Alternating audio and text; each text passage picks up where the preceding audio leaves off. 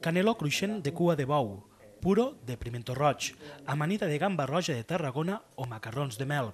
Aquests són només alguns dels 25 plats que formen el nou menú del restaurant Les Moles d'Ulldecona, un menú que té tants plats com anys té aquest restaurant liderat pel xef Jeroni Castells. L'establiment que va néixer l'any 1992 va esdevenir pioner al territori en la innovació de les tècniques culinàries fins a aconseguir una de les estrelles Michelin que avui en dia tenen les Terres de l'Ebre. És veritat que, tot i que no, no sabíem res d'esta professió i que érem uns atrevits i uns inconscients, teníem la il·lusió de fer d'això un restaurant de, de referència, no?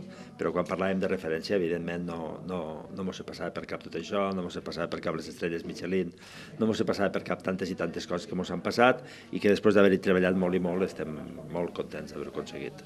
El menú dels 25 anys vol recollir les millors elaboracions de la història del restaurant. En aquests 25 passes s'expressa bé quina és la filosofia de les moles. No? Eh, tenim una màxima que parla de, de d'una P de proximitat, de T de tècnica i D de divertiment, no? jo crec que, esto, que estos tres conceptes estan perfectament reflexats en tot lo, en tot lo que fem. Per celebrar els 25 anys de les Moles també s'ha previst l'edició d'un llibre que publicarà l'editorial Planeta i un concert de Jarabe de Palo amb Pau Donés el 6 d'agost en un sopar musical a tocar de la Pedrera de les Moles que dona nom al restaurant.